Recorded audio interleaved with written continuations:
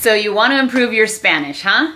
Well, let me start out by congratulating you for being one of the few native English speakers who are willing and excited about stepping outside of your box, your comfort zone, and learning a new language and taking on that challenge. Not a lot of us do it simply because the rest of the world is spending their time learning our language. So kudos to you for that. In this video, we're going to talk about pronunciation, structure, and grammar of the Spanish language, as well as vocabulary. So if you're ready to do this, then let's get this party started. One of the biggest mistakes that we make when trying to learn a new language is really focusing on what we are seeing rather than what we are hearing. Let's think about the way that a baby learns. They spend the first nine or 10 months of their lives just absorbing everything like a sponge, listening, listening, listening, and finally one day they try to replicate those sounds. That's exactly how we should be trying to learn no matter how old we are.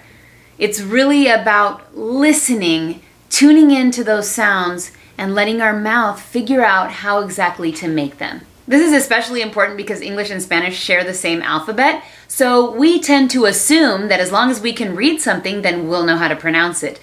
Big mistake. Spanish pronunciation, as you have probably noticed, is completely different from English pronunciation. And I'm going to try to give you guys a little bit of a shortcut to understanding the basics. Let's start with the vowels. In English, we have something insane like 19 different vowel sounds, if you can even imagine that. It depends on what accent we're talking about. I believe that Australians have the most vowel sounds of all of the different accents, regionally speaking. But lucky for you, in Spanish, we have five vowel sounds a, e, i, o, and u, and that is it. Now, if you can master these five sounds, you are well on your way to sounding like a native speaker. You've really got to get your tongue used to being in a different place in your mouth to create these sounds. So close your eyes and really, really try to repeat these sounds exactly as I'm saying them, okay? A, E, O, U. I closed my eyes too. From there we have combinations of two separate vowel sounds within one syllable, and these are called diptongos or diphthongs, which sounds like an insult, but I promise it's not. now, it's ironic that the word diptongo doesn't have any diphthong in it. Such a wasted opportunity. But anyway, let's try pronouncing some common words with diptongos in them. Agua, aire, hielo, tiempo, cuando, cuidado, novio. Great work. now there are some key consonants that are pronounced completely differently as well that we're gonna go over. And again, mastering these will make a huge difference to make you sound more like a native speaker. The first consonant I wanna talk about is R. Now, we all know that R is pronounced very differently in Spanish than in English. Think about where your tongue is though when you're saying R in English. R. It's kind of far back, and your tongue does come up and get close to the roof of your mouth. Now, what happens when we say R in Spanish? R. It comes up, and the tip of our tongue is going to do a little bit of a vibration with the roof of our mouth right behind the teeth. R. You can get ready for the Spanish R by doing this. if that's hard for you, work on it. Think about putting your tongue right behind those teeth let it come up to the roof of your mouth and then let some air through and vibrate your vocal cords. That sounds a little bit complicated, but just try to replicate this sound. now, honestly, the R is not that exaggerated. Let's hear what it sounds like within a few different words. Carro, rojo, rico, arroz. Now Spanish also has a shorter sounding R that will show up generally at the end of words or it will appear in the middle of a word as a single R rather than a double R. And it sounds a little bit like this. Amar, cariño, cortar. So while corro means run, coro means choir. Can you hear the difference? Corro, coro. While carro means car, caro means expensive. carro, caro. I like to compare the short R in Spanish to the English D. It's very, very similar because your tongue comes up, touches the roof of your mouth, and goes back down rather quickly. So think of saying a word like cadet, caro. It's almost the same sound. Our T is also very different in Spanish. If you've ever been in front of a really sensitive mic, you've definitely noticed how much air comes out when you say T in English. In Spanish, not so much. Let's listen to the difference. T, te, T, te. So while for the English T, our tongue goes to the roof of our mouth, right behind the teeth, for the Spanish T, our tongue actually touches our teeth. Te. Let's listen to a few more examples. Tigre, tesoro, atar, triángulo. The Spanish D is a really interesting one because it's almost the exact same sound that we make in English for TH at the beginning of a word such as this, not TH at the beginning of a word such as think. I told you guys English was complicated. so yes, think about saying the word the, for example. The. You see what your tongue and teeth are doing? The. That's almost exactly the same sound as the Spanish letter D. It's basically the same phenomenon as with the English T versus the Spanish T. Your tongue is going to be right behind your teeth in English, and it's going to go ahead and come up and touch your teeth in Spanish. So let's listen to the difference. D, de, D, de, dormir, dedo, digo, dulce. The last letter I want to highlight specifically is the letter L. Now, if you think about someone who's speaking with a little bit of a Chicano accent, you can imagine them saying something like, Why are you looking at me like that? That L is being pronounced like the OG Spanish L. It sounds a little bit more precise. Your tongue kind of comes up in more of a point, whereas in English, your tongue's further back and air is coming out the sides. L. L. Listen to the difference between lemon and limon. Let's go over a few more L words. Luz, leer, alarma, colegio, clase, ligero. Something really interesting to note is that each individual language has its own resting place for the mouth, for the tongue, if you will. And generally, when people are hesitating, the noise that they make sort of indicates where that resting point is. So if you hear a German hesitating, they're going to say something like, er, which is super awkward for us to do as Americans. When a native Spanish speaker hesitates, they'll generally say something like, eh, este, and that's indicative of their resting place. So if you can get your mouth into the right starting position or resting position for the language that you're trying to speak, it's going to make it a whole lot easier. Now, you will be going against the muscle memory that you've developed over the years by speaking the same language and making the same sounds over and over and over. So it will be an uphill battle, don't get me wrong, but it can be done. Let's move on to some common mistakes that we make as native English speakers. The first one that comes to mind is confusing the verb ser with the verb estar. Now, both of these are translated into English as to be. So how do we know which one to use in which situation? Well, as a general rule, and you'll notice that I'll mention general rules a lot because all rules in language were meant to be broken, ser tends to be more permanent and estar tends to be more temporary. So if you're describing something that's unchangeable, you're going to use ser. For example, soy de Estados Unidos. You can't change your past, you can't change where you're from. Soy mujer. Soy bilingüe. Now I suppose I could change my bilingual status, however, this is still considered one of those intrinsic qualities. Estar you're going to use for things like location and mood. So, estoy de buen humor, Estoy en mi casa. Estoy loca. After all, bouts of craziness are only temporary, right? now, this can be really fun if you're trying to say something like, I'm bored. What would you use, ser or estar? I'll wait.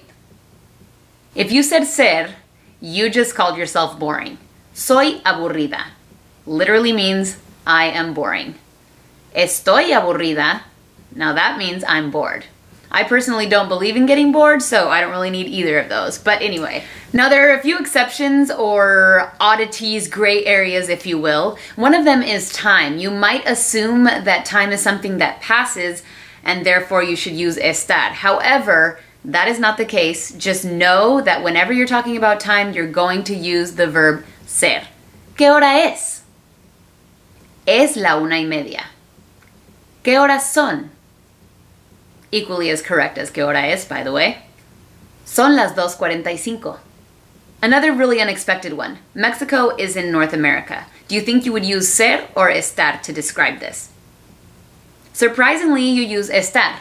México está en Norteamérica. Not because Mexico is planning on uprooting anytime soon and heading off to the European Union, but because when you're talking about location, you simply use the word estar. Whether it's me being located at my house, yo estoy en mi casa, or the planet Earth being located within the solar system. El planeta Tierra está en el sistema solar.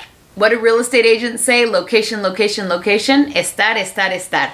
Always use estar when talking about location. Now, there are many things that I love about Spanish, and one of them is that it introduces us to a whole new set of things to worry about, whether our nouns are masculine or feminine. And as a general rule, again, very general because there are many exceptions, nouns that end in O are going to be masculine, and nouns that end in A are going to be feminine. Masculine nouns go along with masculine articles such as el and los, and feminine nouns go along with feminine articles such as la and las. Here are some examples. We have el perro, el auto, el niño, or in plural, los perros, los autos, los niños. For feminine, we have la casa, la tienda, la niña. Feminine plural, las casas, las tiendas, las niñas. Now, here are a few of the exceptions, and there are more, okay? This is not a comprehensive list. We have el día, el clima, el mapa, el idioma. Those were words that sound like they would be feminine, but they are actually masculine. Now, here we have a list of words that sound like they'd be masculine, but are actually feminine. La mano, la foto, la moto, la radio. Now, those last three there is a reason for. La foto would actually be la fotografía, and that is feminine. So even when you abbreviate fotografía and call it foto, which is what basically everyone in the world does at this point, you still keep that feminine article. La motocicleta is actually the long word for la moto, so again, same phenomenon. And actually, radio is the same way. La radiofonía was the original word that has now been shortened to radio. So they've kept their essence as feminine nouns, but now they sound like they would be masculine because the shortened version ends in O. Now, nouns that end in E are rebels. They really don't like to adhere to any rules, although I guess you could say percentage wise most of them are male, but there really are too many exceptions to even call that a rule. Let's look at some examples. La noche el baile, la torre, el puente, la fuente. Now, how weird is that that there can be two words that rhyme and one is masculine and one is feminine? It's like identical twins that are girl and boy. la fuente, which means the fountain, and el puente, which means the bridge. And there's something that really annoys me that I have to throw in right now. There is a city in LA called La Puente, which is incorrect. There is a city that is grammatically incorrect. How did anyone let that happen? Anyway, sorry. So not only do we have to specify gender, we have to specify number as well, like we would with this and these. Things to keep in mind. Again, with a lot of repetition and listening to conversations, a lot of these things are going to be natural, but it is important just to keep them in mind. They can be a little confusing at first when you're starting to learn Spanish. Conjugations, conjugations. A can of worms that I don't even want to open right now, but I will say this. Conjugations in Spanish are so extremely specific that you often don't even have to call out the subject when you're using them. And what I mean by this is just by hearing the verb that has already been conjugated, you know if we're referring to me, you, him, her, them, or us. A common mistake English speakers make is using the word yo unnecessarily where it doesn't sound wrong per se, it does sound a little bit unnecessary. if you want to express how happy you are, although yo estoy contenta is said correctly, a simple estoy contenta will suffice. If you want to say you're hungry, no need to say yo tengo hambre. You can just say tengo hambre. If you're cold, tengo frío. You may be noticing a trend here. In Spanish, we use the verb tener, I have, in many cases where in English we would be using I am. Tengo 35 años. I am 35 years old. If you're thirsty, tengo sed. If you're in a hurry, tengo prisa. If you're tired, tengo sueño. If you're a woman, I mean, if you're right, tengo razón. If you want to tell someone to be careful, ten cuidado. All of those use the verb tener, to have. Now here's a fun tip. Whenever you hear a native Spanish speaker making a mistake in English, they're actually giving you a little insight into the way Spanish is structured. So for example, you might hear a native Spanish speaker say, the American people is very friendly. Now there are a few things wrong with this sentence, but it all makes sense when you know Spanish. First of all, the American people. I guess that would make sense if you're addressing the nation in a very formal way, but generally you would just say American people. And now in Spanish, gente, people, is actually a singular noun. So where we would say people are, they would say la gente es. La gente americana es muy amigable. Or los americanos son muy amigables. But notice that article, los. You gotta have it.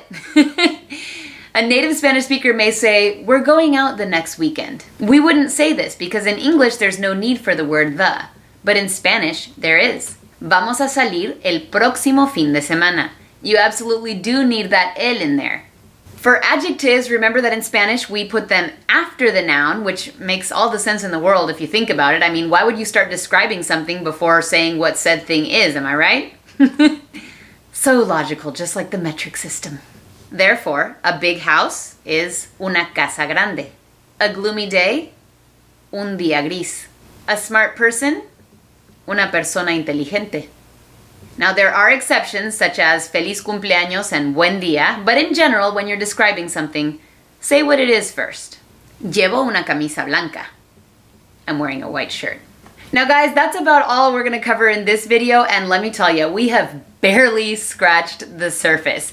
But before you get all discouraged and think, you know what, I don't think my brain's capable of handling all of this craziness and adopting an entire new language, give your brain a little bit more credit. You have actually already mastered an entire language with all of its nuances and rules and exceptions, and a lot of what you're doing, you're not even aware of. So yes, you absolutely are capable of learning a second language, a third language, a fourth language. All that you really need to do is give it that effort, give it that time, and really go for it. So congratulations for having the will, the curiosity, and the drive to keep on learning. Believe me, with those three things, you're already way ahead of the curve. I really hope you guys enjoyed this video. I had a lot of fun hanging out with you guys and sharing some of my insights I gotta credit my sister Heather. We had a great conversation before I recorded this. She's a Spanish teacher and she is legitimately one of the smartest people ever and has so many great insights. So anyway, if you enjoyed this or learned anything from it, please let me know down below. I will be responding comments. I would love to hear from you. And of course, subscribe to my channel if you want awesome content both in Spanish and in English. Hey, I can help you practice if you need to. I'm Holly. It has been real, y'all. I'll talk to you soon. Adiós.